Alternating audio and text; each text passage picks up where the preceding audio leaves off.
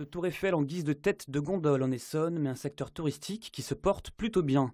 Hier se réunissait le conseil départemental du tourisme de l'Essonne, un bilan encourageant.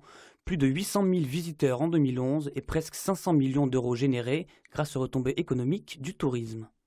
Nous sommes là sur euh, une richesse produite et des emplois qui se maintiennent, euh, même quand, euh, j'allais dire, d'autres secteurs sont un petit peu en difficulté. Nous arrivons à maintenir, parfois même à créer des emplois, et c'est plutôt quelque chose de rassurant. Ce sont des emplois qui ne se délocalisent pas.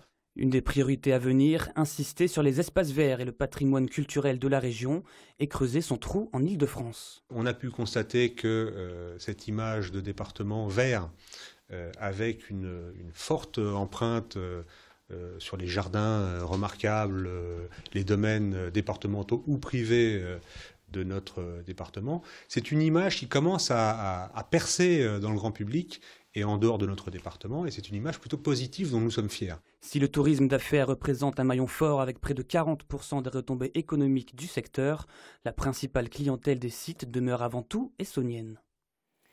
Polytechnique, c'est l'une des institutions les plus prestigieuses du département il faut savoir que c'est seulement en 72, il y a donc 40 ans, que le Premier ministre de l'époque, Michel Debré, décidait que l'école devenait accessible aux femmes.